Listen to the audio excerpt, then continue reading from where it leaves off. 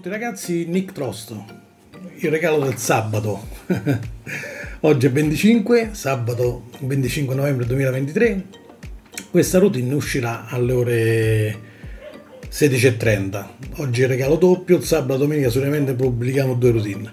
Questa di oggi è mm, veramente eh, un miracolo, chiamiamolo miracolo. Io ho una mia versione che è totalmente impromptu non ve la mostro perché è abbastanza complessa all'inizio perché ovviamente per renderla impromptu utilizzo dei fari shuffle.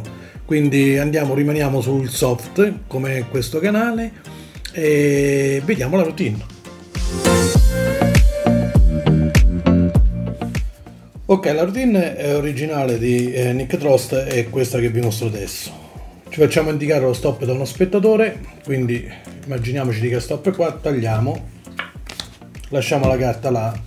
Un altro spettatore ci dirà un numero tra 10 e 20 15 1 2 3 4 5 6 7 8 9 10 11 12 13 14 e 15 diremo che il 15 è formato da 5 e 1 6 quindi conteremo 1 2 3 4 5 e la sesta la lasciamo lì.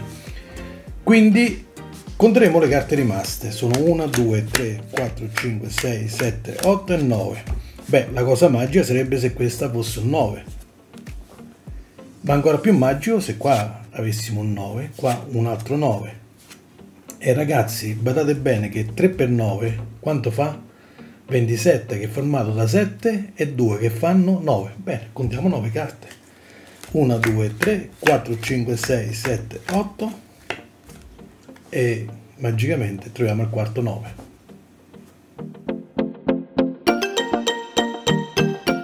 Questa era la routine, andiamo direttamente al tutorial così da prenderla immediatamente e buon divertimento ragazzi!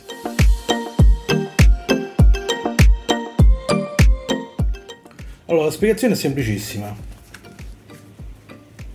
Eh, contiamo 8 carte, 1, 2, 3, 4, 5, 6, 7, 8 e mettiamo sopra un 9. Anzi, scusate, facciamo così, contiamo 8 carte, lasciamo 8 9 qua e altre 8 qua. 2 4 6 8 ok quindi prendiamo il primo 9 mettiamo sopra 8 carte. Prendiamo il secondo 9 mettiamo sopra 8 carte e quindi sopra queste gli altri due 9 ricapitolando abbiamo 2 9 8 carte qualsiasi un 9 8 carte qualsiasi un 9 bene siamo pronti fate seguite un falso miscuglio quello che meglio vi viene ragazzi. Non, non fatevi un problema sul falso miscuglio. Se lo volete fare se no fate un falso taglio all'inizio come meglio vi riesce. Quindi eseguiamo un riffle force.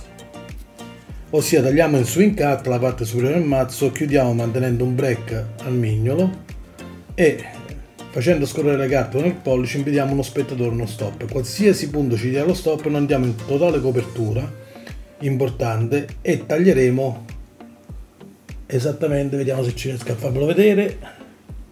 E non credo proprio sì al break. Ok? Quindi taglieremo qualsiasi punto ci dia lo stopper l'importante è stare coperti taglieremo al break. E posiamo il primo 9 mo lo giro già scoperto in modo che seguite attentamente.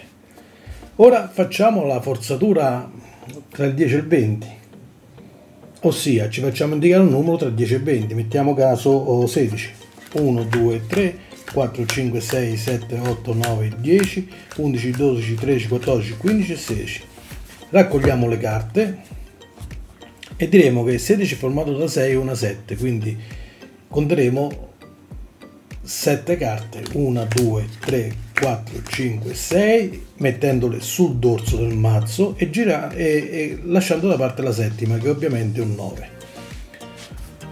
ora questa conda inversa e l'esclusione delle prime carte lasciate sul, sul, um, sul mazzo faranno sì che in mano rimaniamo con 9 carte che andiamo a contare 1 2 3 4 5 6 7 8 e 9 quindi gireremo diremo sarebbe magico se ci fossero gli altri due 9 qua, pu, pu, pu, pu, solita storia, e abbiamo i 3 9. Recuperiamo il mazzo, lo ricompletiamo e diremo mancherebbe il quarto, come lo facciamo a trovare? Ma semplice.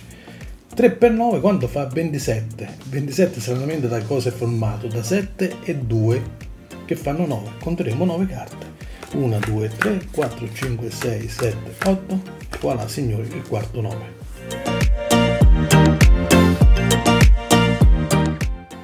con oggi abbiamo terminato e vi auguro un buon weekend ragazzi a tutti quanti weekend ricco di amicizia che oggi è il valore primordiale che andrebbe coltivato dato i tempi in cui corriamo e anche perché no ricco di magia.